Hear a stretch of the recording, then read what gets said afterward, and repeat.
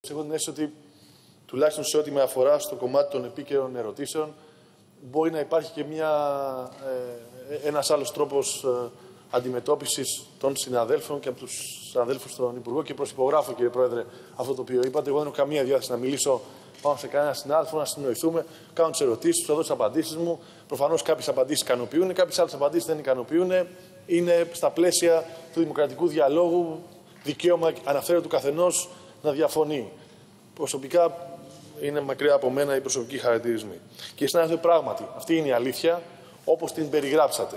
Όχι μόνο για το Πανεπιστημιακό Γενικό Νοσοκομείο Ηρακλείου, αλλά με μια προσπάθεια που κάνουμε αυτούς τους δύο μήνες να χαρτογραφήσουμε τα προβλήματα ε, του έμψυχου δυναμικού των ε, νοσοκομείων του ΕΣΥ σε όλη τη χώρα, ε, αυτή είναι λίγος πολύ εικόνα.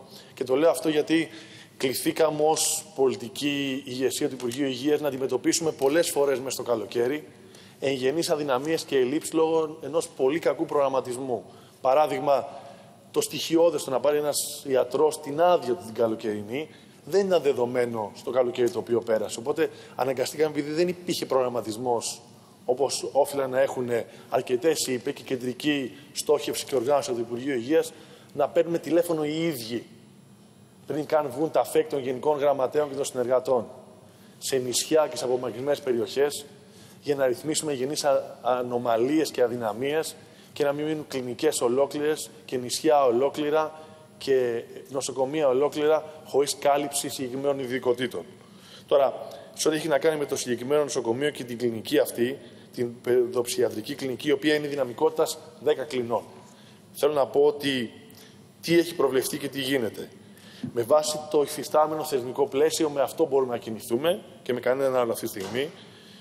Υπάρχει έγκριση από το Υπουργείο για άμεση πρόσληψη έξι νοσηλευτών είναι ε, τεχνολογικής εκπαίδευσης, ΤΕΙ δηλαδή, ε, με σύμβαση εργασίας ιδιωτικού δικαίου, όπως το περιγράψατε, και διάρκειας δύο χρόνων. Δεν έχω καμία αντίρρηση. Αυτή είναι η, η πραγματικότητα.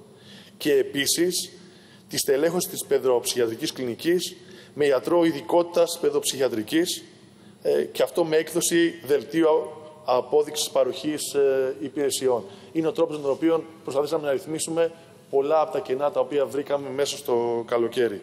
Ε, και θα ήθελα να σας πω επίσης για το θέμα των ψυχολόγων ότι ένα μόνιμο θέμα το οποίο θα ήθελα εγώ να συζητήσουμε με όλα τα κόμματα και να υπάρχει δυνατότητα να ρυθμιστεί διαφορετικά ε, και θα καλέσω όλους κατά σειρά και φυσικά τους πρώην υπουργούς πρώτους από όλους, είναι το θέμα των προκηρύξεων θέσεων, των μονίμων θέσεων, κύριε Πρόεδρε, μέσω ΑΣΕΠ, κυρίως για τις άγονε γραμμές και για τις απομακρυνμένε περιοχές, στις οποίες η διαδικασία παίρνει ένα πολύ μεγάλο χρονικό διάστημα και τελικά δεν ευωδώνεται γιατί όταν έρχεται η ώρα του γιατρού, του ενδιαφερόμενου που έχει βάλει τα χαρτιά του να διοριστεί, ο ίδιος ε, αρνεί τον διορισμό. Άρα χάνεται ένα πολύ μεγάλο χρονικό διάστημα και ξαναξεκινάμε από το μηδέν. Άρα λοιπόν θα έλεγα ότι αυτός μπορεί να είναι ένας. Καλημέρα, κύριε Υπουργέ. Καλημέρα, κύριε Υπουργέ. Καλώς ήρθατε.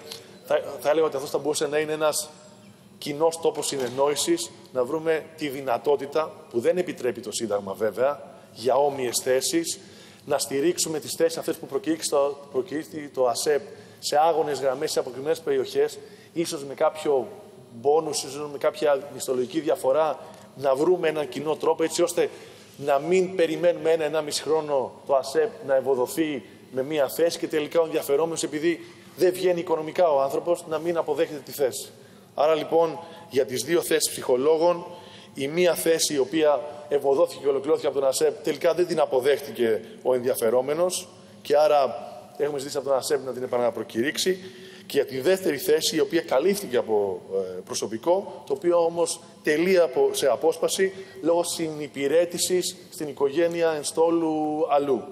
Αυτή είναι η κατάσταση σε ό,τι έχει να κάνει με τη συγκεκριμένη κλινική του Πανεπιστημιακού ε, Γενικού Νοσοκομείου Ηρακλείου.